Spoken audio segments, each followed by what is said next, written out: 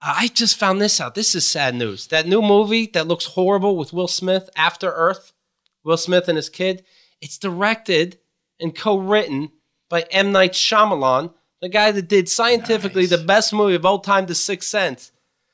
I don't want to see it. I told my, I just told uh, Catherine this, my fiance. I, I text her. I'm like, oh, look what I just learned, and she goes, well, I, it looks terrible. I still don't want to see it. And I go, yeah, I don't want to see it, but if you make a movie that good, it'd be not. It'd be nice to support him.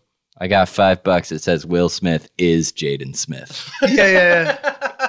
I mean, there's got to be some twist. He says this is Earth, so it's not Earth after all. You know, I don't know. There's some video going around online. Uh, I guess you're getting interviewed for the movie about how they're like badasses in the movie, Right. And like a bug flies by, and Jaden uh, Smith just freaks out, and like a little girl, like ah, ah! So- and like Will Smith has to it's like calm him down. It's like it's uh, it's That's going funny. away, it's going away. It's like ah!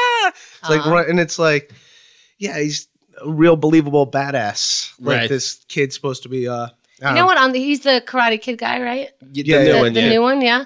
He was good in that movie. I didn't see it. And, yeah, I, was haven't it? se- I want. I don't want to like anything Will Smith anymore. Like I'm just. it- he's just too Why? shoved down our throats. You get what I'm saying? It's just a little too commercial, a little too much. The same way you don't drink Starbucks, like you don't like Starbucks or I Apple, didn't, mm, didn't say don't right. drink Starbucks. or people that don't like Applebee's.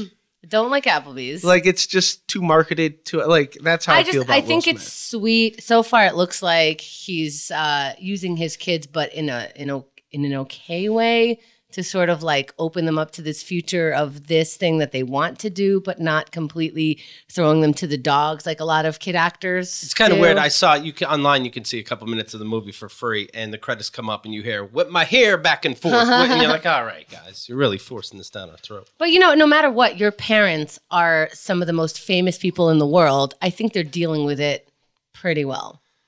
Right. You know what? I used to love him when I was a kid. Like uh, when it was the Fresh Prince and uh, DJ Jazzy Jeff. Right. Like I, I loved him, and then like it, just his songs were.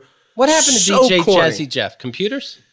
He's a DJ. I think he's still out there He's still a DJing. DJ. Yeah. Yeah. but uh, they just got like as he got older, he just stuck with like the get jiggy with it and all that. It was just too corny and Right. too.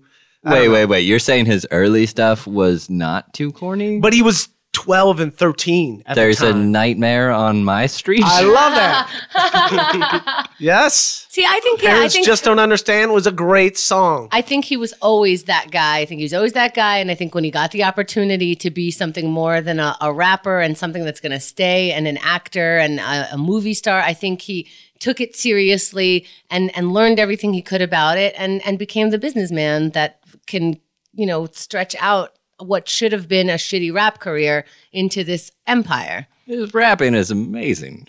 Come on, we're still living in the new millennium. Let's not forget this. You ever hear that song "No More Mr. Nice Guy" or "He's a Nice Guy"?